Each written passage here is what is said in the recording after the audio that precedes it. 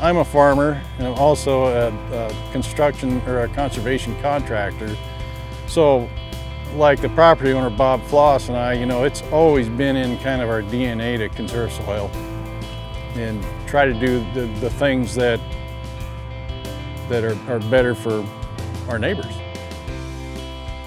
Bob is going to do a, a, lot of cover crop stuff on this farm, so that'll be interesting. We should be able to get some real good readings off of the bioreactors before you know next fall's cover crop that goes on. Looking for just the actual right place to put one, and it couldn't be any better than this farm here.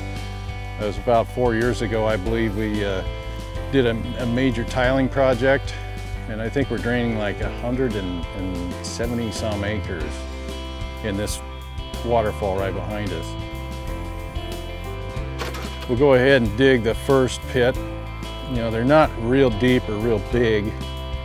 And uh, we'll, we'll get the pit dug and then we'll get our water control device installed. Get the pit lined in plastic and, and the plumbing that goes inside so the water can seep through the wood chips.